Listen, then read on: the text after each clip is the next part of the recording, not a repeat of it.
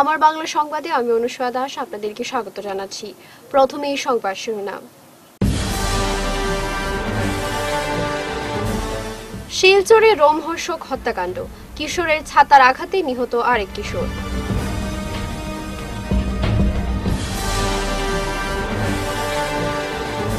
কাছাড়ে রেংটিতে হচ্ছে মডেল হাসপাতাল। ভিত্তিপ্রস্তর স্থাপন করলেন বিধায়ক।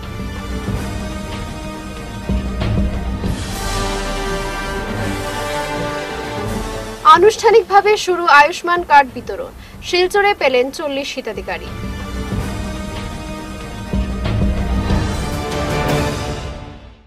এবারে বিস্তারিত আমার বাংলা সংবাদ।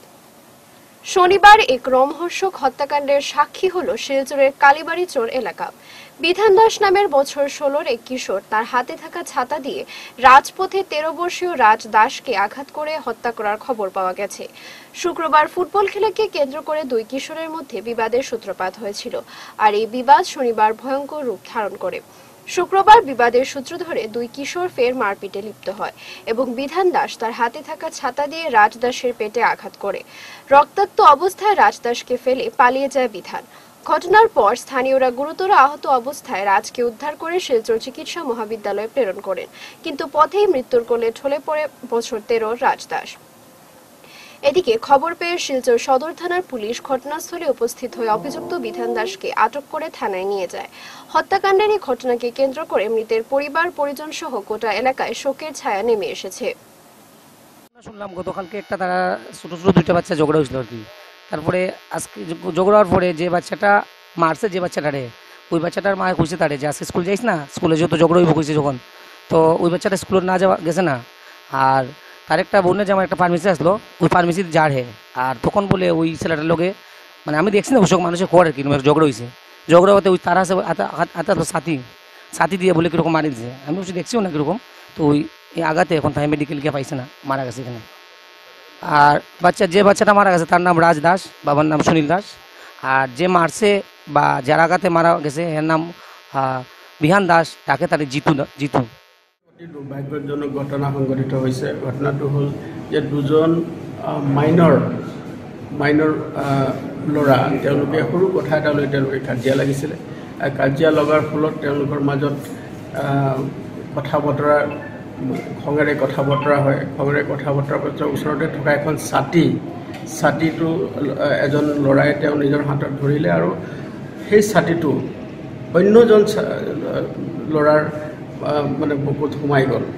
সোমাই যোৱাৰ পিছত সিজন ল'ৰাই দুখ পালে। দুখ পোৱাৰ লগে লগে ল'ৰাজন ইনজুৰ হ'ল। হোৱাৰ লগে লগে ইমিডিয়েটলি মেডিকেলত শ্বিফ্ট কৰা হ'ল। আৰু মেডিকেলত শ্বিফ্ট কৰাৰ পিছত ডুৰিং ট্ৰিটমেণ্ট এজন ল'ৰাৰ মানে মাইনৰ ল'ৰাৰ নাবালক ল'ৰাৰ মৃত্যু হয়। গতিকে ঘটনাটো অতি দুৰ্ভাগ্যজনক কথা। দুইটা ল'ৰাই দুইজনেই নাবাল নাবালক এজনৰ তেৰ বছৰীয়া এজনৰ চৈধ্য বছৰীয়া। আৰু দুইজন ল'ৰাই একে ওচৰ পাজৰৰ ল'ৰা আৰু তেওঁলোকে ইজনে সিজনক ভালকৈ চিনি পায় আৰু তেওঁলোকৰ মাজত সৰু কথা লৈ তৰ্কাতৰ্কি হৈছিলে।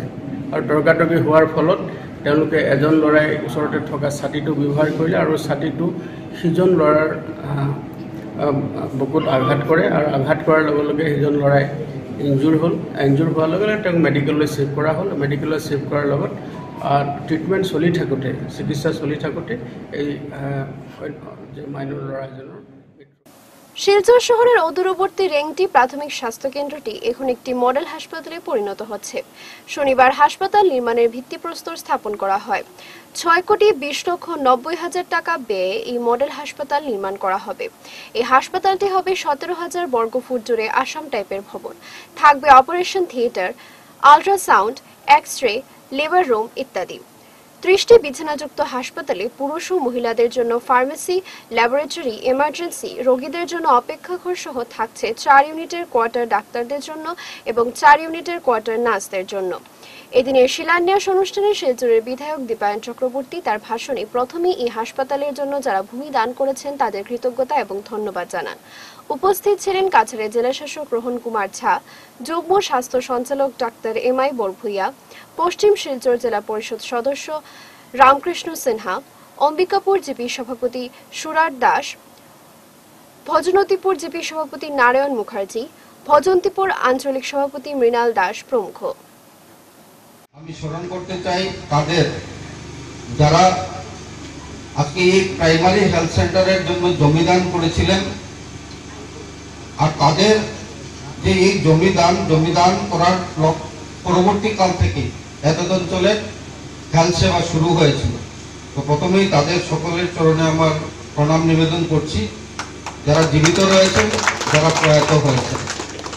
এখানে একটি কথা উঠে এসেছে যে আমাদের এই যে সেন্টার রয়েছে, হেলথ সেন্টার, এই সেন্টারের ইতিমধ্যে ডেমার্কেশন হয়নি ল্যান্ড ডেমার্কেশন তো এখানে ডেপুটি কমিশনার সাহেব একজন অত্যন্ত কর্মতৎপর, কর্মঠ ব্যক্তি আমরা লক্ষ্য করেছি যে কাছাড় জেলাতে যখনই উনি চার্জ নিয়েছেন, তখন থেকে আমরা পাবলিক রিপ্রেজেন্টেটিভ বলুন বা বিভিন্ন জনসাধারণ ওনার কাছে যখনই গেছেন, যে কোনো সমস্যা নিয়ে উনি একদম সাথে সাথে সেটাকে করে দেওয়ার চেষ্টা করেন। আর মঞ্চে বসে উনি পেছন থেকে কথা বলছিলেন। এই কথার প্র- পরিপ্রেক্ষিতে উনি বলে দিয়েছেন যে ইতিমধ্যে এটাকে ডেমার্কেশন করে উনি এটা ল্যান্ড সুন্দর করে তৈরি করে দেবেন তো সকলের পক্ষ থেকে রোহন কুমার ঢাকা মহাশয়কে প্রধানমন্ত্রী জন আরোগ্য যোজনার অধীনে কাছাড় জেলার শিলচর বিধানসভা কেন্দ্রের হিতাধিকারীদের মধ্যে আনুষ্ঠানিকভাবে আয়ুষ্মান কার্ড বিতরণ করা হয়েছে। শনিবার গান্ধী ভবন প্রেক্ষাগৃহে এ উপলক্ষে এক সংক্ষিপ্ত অনুষ্ঠানের আয়োজন করা হয়। এতে মুখ্য অতিথি হিসেবে উপস্থিত ছিলেন বিধায়ক দীপায়ন চক্রবর্তী। সম্মানিত অতিথি হিসেবে উপস্থিত ছিলেন জেলা শাসক রোহন কুমার ঝা, অ্যাসিস্ট্যান্ট কমিশনার জুনালী দেব জেলার স্বাস্থ্য বিভাগের যুগ্ম সঞ্চালক এম আই বরভুইয়া, বিজেপি মধ্য শহর মণ্ডলের সভাপতি শান্তনু রায়, সহসভাপতি দেবাশিস সোম সারমিন আক্তার সোডিয়াল প্রমুখ। এদিন মোট চল্লিশ জন হিতাধিকারীদের হাতে আয়ুষ্মান কার্ড তুলে দেওয়া হয়। অনুষ্ঠানে বিধায়ক দীপায়ন চক্রবর্তী, নরেন্দ্র মোদীর নেতৃত্বাধীন সরকারের আমলে দেশের প্রতিটি ক্ষেত্রে যে বৈপ্লবিক পরিবর্তন এসেছে, তা নিয়ে আলোকপাত করেন। পাশাপাশি রাজ্যে মুখ্যমন্ত্রী হিমন্ত বিশ্ব শর্মার নেতৃত্বে বরাক উপত্যকা সহ গোটা রাজ্যে উন্নয়নের খতিয়ান তুলে ধরেন। চার কনস্টিটিউন্সিতে প্রায় দশ হাজারের উপরে কার্ড আজকে ডিস্ট্রিবিউশন হবে। আজকে ইনগোরাল ডেতে প্রথমে আমরা মঞ্চে আনুষ্ঠানিকভাবে সাত আটজন ব্যক্তিকে আমরা ডিস্ট্রিবিউশন করেছি। তো শিলচার কনস্টিটিউন্সিতে যেটা আছে, আখড়া যেটা আছে, এটাতে প্রায় দেড় লক্ষর মতো কার্ড আসবে। তো আমি আপনাদের মাধ্যমে সবাইকে অনুরোধ করতে চাই, যারা এই কার্ড পেয়েছেন বা আমাদের সম্মানিত যারা জনসাধারণ রয়েছেন এই মুখ্যমন্ত্রী জনারোগ্য যোজনার মাধ্যমে যে কার্ড ডিস্ট্রিবিউশন হচ্ছে, তাতে আপনারা সহযোগিতা করুন। যারা পাওয়ার যোগ্য ব্যক্তি রয়েছেন, তাদেরকে সহযোগিতা করুন। আমাদের সরকারি অফিসাররা দিনরাত পরিশ্রম করে সেটাকে কাজ করছে, কিন্তু আপনাদেরও সহযোগিতা প্রয়োজন রয়েছে, তার জন্য আজকের দিনে আপনাদের প্রতি আবেদন রাখছি। কাছাড় ডিস্ট্রিক্টে কি রয়েছে আজকে আমাদের ডেপুটি কমিশনার উপস্থিত রয়েছেন আমি ওনাকে অনুরোধ রাখবো যে কাছাড় ডিস্ট্রিক্টের টোটাল কার্ড কত এসছে বা কি ডিস্ট্রিবিউট হচ্ছে উনি বলবেন टोटल हमारा ग्यारह लाख आठ हज़ार आठ सौ तीन टोटल हमारे ग्यारह लाख आठ हज़ार आठ सौ तीन बेनिफिशियरी है जिसमें से आठ लाख तकरीबन आठ लाख अड़तीस हज़ार का हम लोगों ने ई के वाई सी कर दिया है और बाकी का भी हमारा एम ये है कि जून महीने के एंड तक हम लोग करने का कोशिश करेंगे पूरा ख़त्म और ई के वाई सी होने के बाद अगला जो चीज़ हम लोग करते हैं डिस्ट्रीब्यूशन वो भी हमारी आंगनवाड़ी दीदी, आंगनवाड़ी एम दीदी लोग ही करती हैं। डिस्ट्रीब्यूशन के टाइम में एक पोर्टल पे उनको एंट्री करना पड़ता है कि this card has been distributed बोल के। तो आप लोग सबसे यही अनुरोध है कि जिन, जो, जिन लोगों ने अभी तक ई के नहीं कराया है, वो कृपया अपने नज़दीकी कंट्रोल शॉप पे या फिर नज़दीकी सब सेंटर पे जाके ई के करवाएँ হিন্দু ধর্মে লোকনাথ ব্রহ্মচারীর নাম আজীবন স্বর্ণাক্ষরে লেখা থাকবে। সেবা কাজে তার এগিয়ে আসা এবং সর্বোপরি সমস্ত ধর্মের মধ্যে পরম ব্রহ্ম ঈশ্বরকে উপলব্ধি করা এর জন্য এক অভূতপূর্ব নিদর্শন। শনিবার তার তিরোধান দিবস পালিত হয় ভারতবর্ষের বিভিন্ন প্রান্তে। এই উৎসবের ছোঁয়া থেকে বাদ নেই শিলচরের সেন্ট্রাল রোড স্থিত লোকনাথ বাড়িও। প্রতি বছরের ন্যায় এবছরও বিভিন্ন ধর্মীয় কার্যসূচির মাধ্যমে লোকনাথ বাবার তিরোধান দিবস সাড়ম্বরে পালন করা হয়। লোকনাথ বাড়ির প্রধান পুরোহিত পবিত্র পাল বলেন লোকনাথ ব্রহ্মচারী বাবা মানুষকে সর্বদা সত্যের পথে চলতে নির্দেশ দিয়ে গেছেন। যে ব্যক্তি সৎ ধার্মিক নির্ভীক, ভক্তিপরায়ণ এরকম মানুষের সঙ্গে লোকনাথ ব্রহ্মচারী বাবা বন্ধুত্ব করার কথা বলেছিলেন। এদিন ভক্তদের মধ্যে মহাপ্রসাদও বিতরণ করা হয়। সেন্ট্রাল পবিত্র প্রত্যেক বছরই আমরা এই লোকনাথবাবা তিরুদান উৎসব আমরা পালন করে থাকি। এই পুজোটা গত বিশ থেকে পঁচিশ বছর হবে, চলে আসতেছে। এবারও করছি এবার পুজোর মধ্যে সকালের বেলা সাড়ে সাতটায় করলাম আমরা এই কালামার পূজা, তারপরে নবগ্রহর পূজা ভূতনাথের পূজা কাল ভৈরবের পূজা। ধরেন বারোটার ভিতরে এই পুজোগুলো সব হয়ে গেছে। এখন আমরা তিনটা চল্লিশ মিনিটে। একটা ছাপ্পান্ন বুকের একটা আয়োজন করেছি আমরা। তিনটা চল্লিশ মিনিটে আমরা একটা যজ্ঞ করব। এই যজ্ঞটা হলো, যদিও বলবেন বলে লোকনাথ বাবার পুজোর মেয়েটা বা তান্ত্রিক যজ্ঞ, এটা তান্ত্রিক যজ্ঞ একটা করব। তান্ত্রিক। এটা আলাদা, সম্পূর্ণ আলাদা, তিনটা চল্লিশ মিনিটে করব। তারপর আমার এগারো জন মেয়েরা থাকবে, এগারো জন মেয়েরা আরতি করবে। আরতির শেষ সময় প্রসাদ বিতরণ করা হবে এবং আশীর্বাদ জেলায় প্রথমবার মুখ্যমন্ত্রীর নির্দেশে সপ্তাহব্যাপী নানা কার্যক্রমের মধ্য দিয়ে উদযাপিত হবে ডিস্ট্রিক্ট ডে।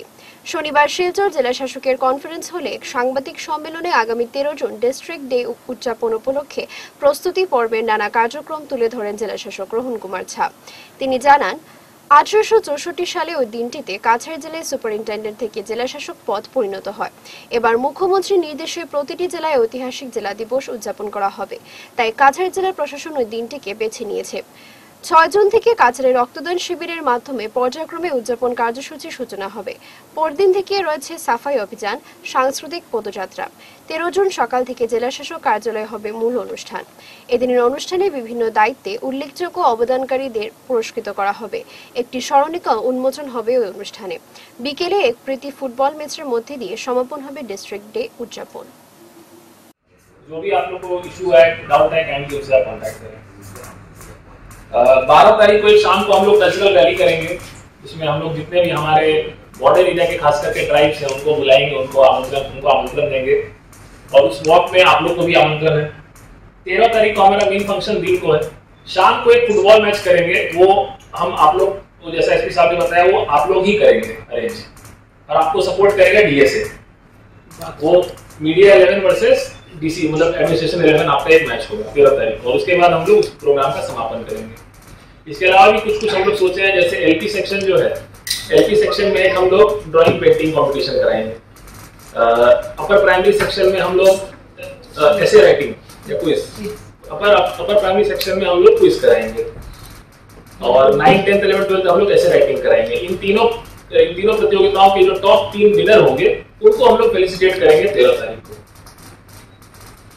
कोई बहुत अच्छा जैसे एक एक बेस्ट बीडीपी को हम लोग फेलिसिटेट करेंगे एक बेस्ट डीसी ऑफिस का एम्प्लॉय को फेलिसिटेट करेंगे कोई लाइन डिपार्टमेंट का बहुत अच्छा एम्प्लॉय है उसको फेलिसिटेट करेंगे एक बहुत अच्छा दो तीन अच्छे जो टीचर हैं जो स्वास्थ्य कर्मी हैं आंगनबाड़ी की जो दीदियां हैं तो जो बेस्ट वर्किंग है हम लोग उनको एक एक दो दो को बुला के ताकि कोई छूटे ना इसमें आप लोग अगर कोई सजेशन है तो आप लोग काइंडली बताइए শুক্রবার রাতে ফের বাইপাসে সড়ক দুর্ঘটনায় প্রাণ গেল তিন যুবকের শিলচর রামনগর বাইপাস পেচাডোহরে শুক্রবার রাতে ভয়ঙ্কর পথ দুর্ঘটনাটি সংঘটিত হয়। ঘটনাস্থলে তিনজন যুবকের মৃত্যু হয়েছে এবং একজন আহত হয়। ঘটনার বিবরণে জানা যায়, শুক্রবার রাতে স্কুটার ও বাইকের মুখোমুখি সংঘর্ষ হয় এবং ভয়ঙ্কর পথ দুর্ঘটনা সংঘটিত হয়। ঘটনাস্থলে প্রাণ হারাতে হয় তিনজন যুবকের। একজন যুবক গুরুতরভাবে আহত হয়েছে বলে জানা যায়। সঙ্গে সঙ্গে স্থানীয়রা সহ পুলিশ ও ট্রাফিক বিভাগের কর্মকর্তারা ঘটনাস্থলে উপস্থিত হয় তিনজন যুবকের মৃতদেহ ময়নাতদন্তের জন্য শিলচর মেডিকেল কলেজে প্রেরণ করেন ও আহত ব্যক্তিকে চিকিৎসার জন্য শিলচর মেডিকেল কলেজে নিয়ে যান। মৃত তিন যুবকের নাম রেহান চৌধুরী সুয়েল খান, কুনাল কর এবং আহত হওয়া লোকজনের নাম দীপাঞ্জন দত্ত বলে জানা যায়। শিলচরের দীননাথ নবকিশোর উচ্চতর মাধ্যমিক বালিকা বিদ্যালয়ে শনিবার দুই দিবসীয় অঙ্কনকলা প্রতিযোগিতার সূচনা করল সরস্বতী সংগীত বিদ্যালয়। বিদ্যালয়ের রজত জয়ন্তী বর্ষ উপলক্ষে এদিন আয়োজিত এক সংক্ষিপ্ত অনুষ্ঠানে প্রদীপ প্রজ্বলন করেন আমন্ত্রিত অতিথিরা। সভায় বক্তব্য রাখতে গিয়ে বিদ্যালয়ের বিভিন্ন উন্নয়নমূলক কাজের কথা তুলে ধরেন বিশিষ্টজনেরা। সভা শেষে বিভিন্ন বিদ্যালয় থেকে আগত পড়ুয়ারা অঙ্কন কলা প্রতিযোগিতায় উৎসাহের সঙ্গে অংশগ্রহণ করেন উল্লেখ্য, সরস্বতী সংগীত বিদ্যালয়ের রজত জয়ন্তী বর্ষ উপলক্ষে দুই দিবসীয় অনুষ্ঠানে অঙ্কন কলা ছাড়াও রবীন্দ্রসঙ্গীত ও নজরুল গীতির আয়োজন করা হয়েছে। দুই দিবসীয় অনুষ্ঠানকে সফল করে তুলতে সকলের সহযোগিতা কামনা করেছেন আয়োজকরা। আজকে আমরা সরস্বতী সংগীত বিদ্যালয়ের রজত জয়ন্তী বর্ষ উদযাপনে দ্বিতীয় অনুষ্ঠান আমরা আজকে অঙ্কন প্রতিযোগিতা। আমরা প্রথম অনুষ্ঠান কিছুদিন আগে এখানকার গান্ধী ভবনে অনুষ্ঠান করেছি। এবারে আমরা আজ বিকেল থেকে চলছে এখানে অঙ্কন প্রতিযোগিতা। আগামীকাল থাকবে সকাল দশটা থেকে সংগীত বিদ্যালয়ে পার্ক সংগীত বিদ্যালয়ে, রবীন্দ্রসঙ্গীত ও নজরুল গীতি প্রতিযোগিতা, বিভিন্ন বিভাগে সারাদিন ব্যাপী প্রতিযোগিতা চলবে। এই বছর জুড়ে আগামী নভেম্বর মাস অবধি আমাদের এই যে কর্মসূচি, আমরা সরস্বতী সংগীত বিদ্যালয়ের তরফ থেকে এই কর্মসূচিতে, কর্মসূচিকে সার্থক করে তোলার জন্য সবার সহযোগিতা কামনা করি। আমাদের সঙ্গে আছেন ভাস্কর। দিবসে আমাদের যে আজকের যে আয়োজন এখানে অঙ্কন কলা প্রতিযোগিতা চলছে। আমরা বিপুলভাবে সাড়া পেয়েছি এবং প্রত্যেকটা অঙ্কন কলা বিভাগের প্রত্যেক শিক্ষকরা এখানে এসছেন। এখানে উত্তম থেকে আরম্ভ করে আরও অনেকে এসছেন। তো আমরা তাদেরকে প্রথমেই আমরা ধন্যবাদ জানাচ্ছি আমাদের সাথে সহযোগিতা করার জন্য। আগামীকাল আমাদের থাকছে রবীন্দ্রসঙ্গীত নজরুল সংগীত প্রতিযোগিতা। তো সেই প্রতিযোগিতায় অনেকেই ফর্ম জমা দিতে পারেননি এখনও। তো আমরা সরাসরি রেখেছি যারা কম্পিটিশনে প্রতিযোগিতায় আসবেন সরাসরি এখানে এসে শিলচর সংগীত বিদ্যালয়ে এসে ফর্ম লিখে জমা দিয়ে অনুষ্ঠান করতে পারবেন। সাংচাইল NGO teach for North East নামে একটি প্রকল্প শুরু করেছে, যার মূল উদ্দেশ্য হল সুবিধাবঞ্চিত শিশুদের ইংরেজি ও অন্যান্য বিষয় শেখানো। ওরা ওই প্রোগ্রামটি বিগত দু মাস থেকে সাফল্যভাবে চালিয়ে নিয়েছে এবং সর্বমোট আটটি ক্লাস করিয়েছে, যেখানে ওরা প্রত্যেক শনিবারে বিশ জনেরও বেশি ভলেন্টিয়াররা চল্লিশ জন বাচ্চাদেরকে শিক্ষা দেন মালোগ্রাম গার্লস স্কুলে। একই সাথে সাহায্য করছে ব্যক্তিত্ব উন্নয়নের এবং কর্মজীবনের নির্দেশনা দিয়ে চলছে ছাত্রছাত্রীদের। বিশেষতভাবে অষ্টম, নবম এবং দশম শ্রেণির ছাত্রছাত্রীদের। এনজিওর সভাপতি সুচরিতা ধর জানায় যে, আমাদের দেশে তিয়াত্তর শতাংশ ছাত্রছাত্রীরা কলেজে যেতে পারে না কেন কি বিদ্যালয় জীবনের পরে ওদের দারিদ্রিক অর্থনৈতিক অবস্থার কারণে ওদেরকে বাধ্য করা হয় কোনো চাকরি অথবা বিয়ে করার জন্য। তিনি জানান যে ওদের মূল উদ্দেশ্যই হলো যে ওদেরকে সাহায্য করতে হবে যাতে কোনো বাচ্চাই ভবিষ্যতে সাফল্য হওয়ার স্বপ্ন দেখা বন্ধ না করে এবং সকল বাচ্চাই যেন সমান সুযোগ সুবিধা পায় জীবনে। এনজিওর সহসভাপতি ঝঙ্কার পাল সমস্ত শিলচরবাসীকে প্রতি শনিবার এক ঘণ্টা স্বেচ্ছাসেবক হিসেবে আসতে এবং এই প্রোগ্রামের মাধ্যমে একটি শিশুর জীবন বিলিয়ে দেওয়ার জন্য অনুরোধ করেন। ভেরি গুড এরপর অ্যাটেনশন মানে? অ্যাটেনশন মানে কোনো কিছু মন দিয়ে শোনা বা লেখা। ভেরি নাইস অর্গানাইজ মানে? কোনো কিছু সুন্দরভাবে গুছিয়ে রাখা বা বা পরিকল্পনা করা। ভেরি গুড ভেরি গুড আমি ঝঙ্কার পাল আমি সাংচাল মিলাপের ভাইস প্রেসিডেন্ট তো আমাদের টিচ ফর নর্থ ইস্ট যে প্রজেক্টটা চলছে ওটার আমাদের মেইন উদ্দেশ্যটাই হলো গিয়ে আমাদের যে ডিপ্রাইভ চাইল্ডরা আছে আমাদের শিলচর শহরেই তো ওদেরকে যাতে আমরা ওদের যে যে জায়গায় ওরা আটকে আছে পড়াশোনার জগতে, সেই জায়গাটায় আমরা যাতে ওদেরকে একটা ব্রিজ তৈরি করে দিতে পারি, আমরা ওদেরকে সাহায্য করতে পারি। আমাদেরকে একটা অ্যাসাইনমেন্ট দেওয়া হয়েছিল, যেটা সেফ ট্রিসের উপরে ছিল। এটা দিয়ে আমরা একটা ড্রয়িং করেছি। এটার বিষয়ে আমরা একটা স্পিচ দিয়েছি সবার সামনে স্টেজে গিয়ে। আর এটা করার পর আমার অনেক বেশি কনফিডেন্স বেড়েছে। প্রেসিডেন্ট আমাদের একটা ইনিশিয়েটিভ আছে যেটা টিচ ফর নর্থ ইস্ট ওই ইনিশিয়েটিভের আন্ডারে আমরা দুইটা গভর্নমেন্ট স্কুল আছে মালোগ্রাম গার্লস স্কুল এবং কাছাড় হাই স্কুল ওইখানে বাচ্চাদেরকে আমরা এভরি স্যাটারডে ইংলিশ এবং ডিফারেন্ট ডিফারেন্ট সাবজেক্টস ওদেরকে আমরা পড়াচ্ছি। আমাদের এই ইনিশিয়েটিভটা অলমোস্ট দু মাস হয়ে গেছে আর আমরা খুব ভালো রেসপন্স পাচ্ছি। সব বাচ্চারা খুব খুশি যে ওদেরকে যে স্পেশাল অ্যাটেনশন দিয়ে পার্সোনালাইজড ভাবে পড়াশোনা করানো হচ্ছে। মণিপুরী নর্থন আশ্রম আয়োজিত পাঁচ দিবসীয় মৃদঙ্গ বাদন কর্মশালার আনুষ্ঠানিক সূচনা করা হয় শনিবার। শিলচরে প্রথমবারের মতো আয়োজিত এই কর্মশালার মুখ্য অতিথি হিসেবে উপস্থিত ছিলেন আন্তর্জাতিক খ্যাতি সম্পন্ন মৃদঙ্গ বাদক ব্রজন কুমার সিংহ। উনার তত্ত্বাবধানে আগামী পাঁচ দিন মৃদঙ্গ বাদন কর্মশালা চালানো হবে। এদিন গুরু বিপিন সিংহের প্রতিকৃতিতে মাল্যদান ও পুষ্পার্ঘ অর্পণের পাশাপাশি প্রদীপ প্রজ্বলনের মাধ্যমে কর্মশালার উদ্বোধন করেন আয়োজকরা। কর্মশালায় জেলার বিভিন্ন এলাকা থেকে শিল্পীরা উৎসাহের সঙ্গে অংশগ্রহণ করেন।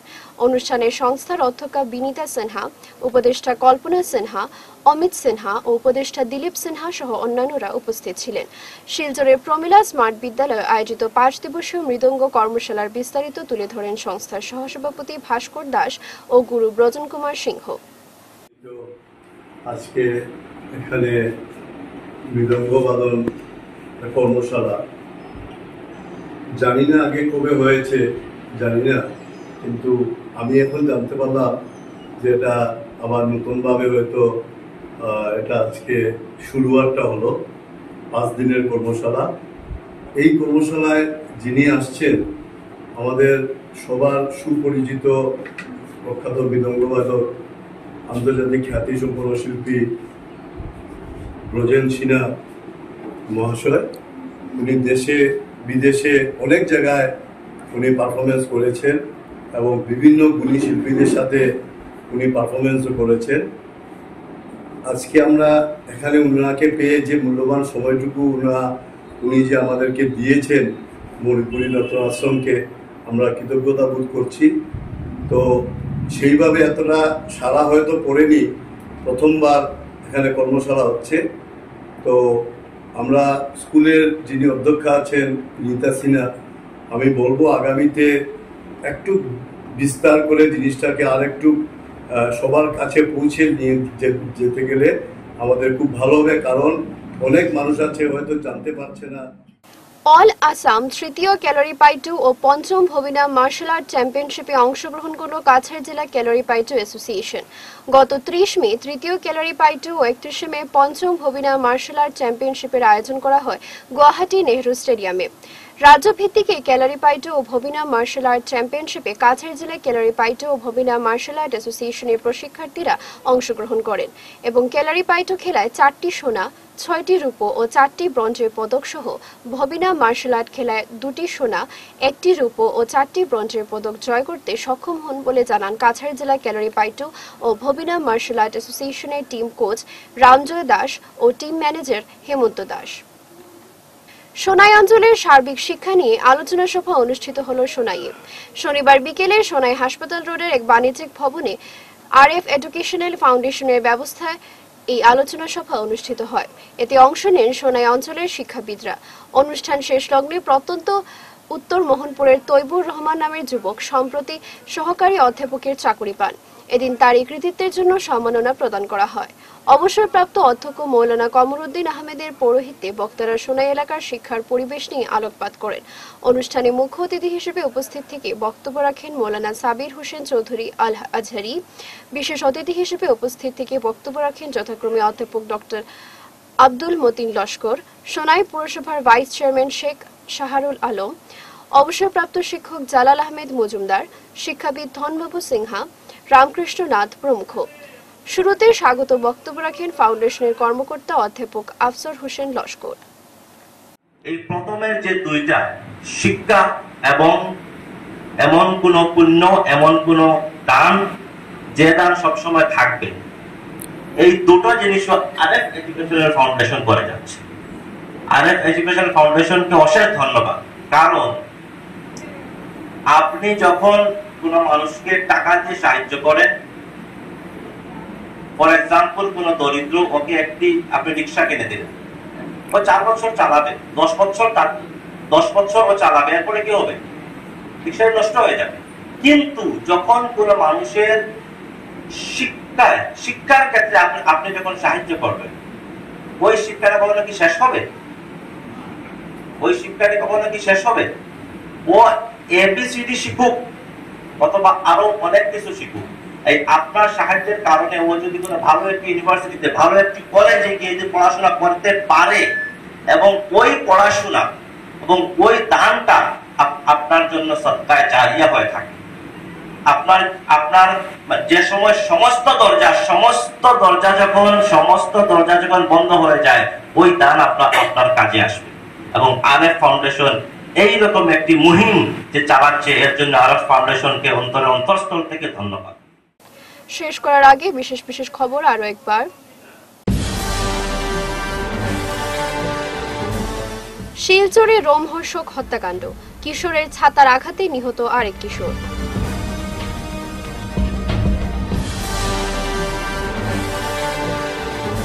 কাছাড়ের রেংটিতে হচ্ছে মডেল হাসপাতাল। ভিত্তিপ্রস্তর স্থাপন করলেন বিধায়ক।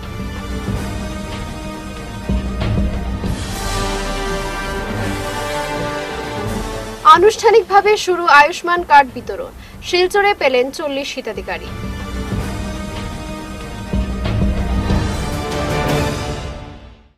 এখনকার মতো আমার বাংলা সংবাদ এই পর্যন্তই। নমস্কার।